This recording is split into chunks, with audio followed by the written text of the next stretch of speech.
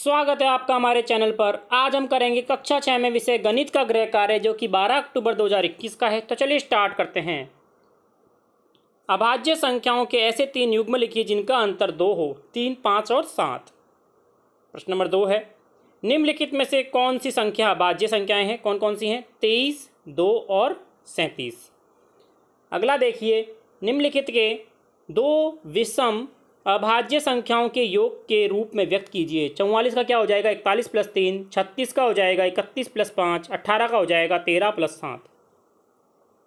प्रश्न नंबर चार है, निम्नलिखित संख्याओं के प्रत्येक के तीन अभाज्य संख्याओं के योग के रूप में व्यक्त कीजिए। तो इक्कीस का हो जाएगा, तेरह प्लस पाँच प्लस तीन, इकतीस का हो जाएगा, एक तेईस प्लस पाँच प्लस तीन, तिरपन का हो जाएगा, इकतालीस प्लस पाँच प्लस सात। प्रश्न नंबर पाँच है सौ से छोटी सात क्रमागत संख, भाज्य संख्याएँ लिखिए, जिनके बीच में कोई भी अभाज्य संख्या ना हो। कौन कौन सी हो जाएगी? इक्यानवे, बारानवे, तिरानवे, चौरानवे, पचानवे और छियानवे। तो बच्चों, ये था हमारा आज कक्षा छः का। आज का गृह कार्य। तो जुड़े रहे चैनल से। धन्यवाद।